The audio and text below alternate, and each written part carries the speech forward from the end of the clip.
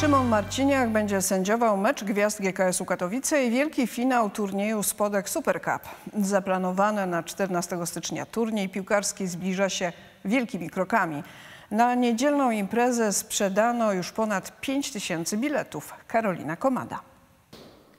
Dla GKS-u Katowice 1995 rok był naprawdę szczęśliwy. Klub zdobył Superpuchar Polski i zajął trzecie miejsce w Ekstraklasie.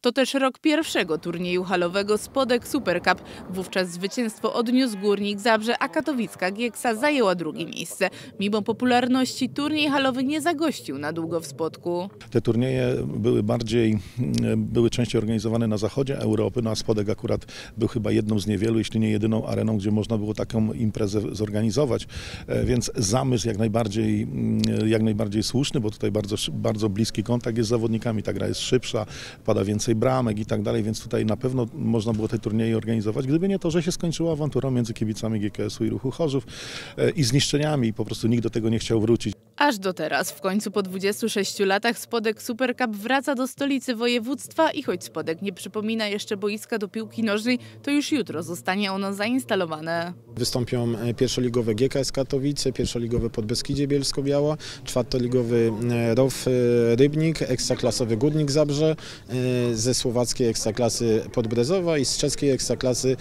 Banik Ostrawa. Gramy systemem pierw grupowym, dwie grupy po trzy zespoły, każdy z każdym a później faza pucharowa z wielkim finałem na końcu. Każdy mecz potrwa 20 minut, a na boisku zagra pięciu zawodników i właśnie wszyscy zawodnicy powoli wracają już do treningów po świątecznej przerwie. Składy drużyn poznamy za kilka dni, jednak najprawdopodobniej kibice Górnika Zabrze nie zobaczą podczas turnieju Łukasza Podolskiego i mimo sukcesu w 1995 roku trener nie myśli o ponownym zwycięstwie. To też jest uczta dla kibiców, no nie oszukujmy się, oni mogą być blisko e, zawodników, e, no jest to, jest to zupełnie co innego.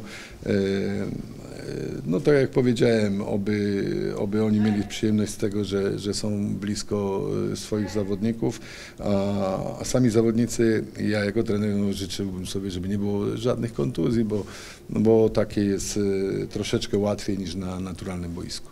Jak Górnik ma wygrać ten turniej i będzie jakaś kontuzja, to wolę, żeby przegrał, ale żeby było bez kontuzji. Dla najmłodszych pojawi się strefa fanzon z mini boiskiem. Ma się na nim odbyć mecz, który najprawdopodobniej poprowadzi sędzia główny zawodów Szymon Marciniak, najlepszy sędzia świata. Chciałbym serdecznie zaprosić wszystkich kibiców na spodek Super Cup, Start turnieju o godzinie 12 w najbliższą niedzielę 14 stycznia.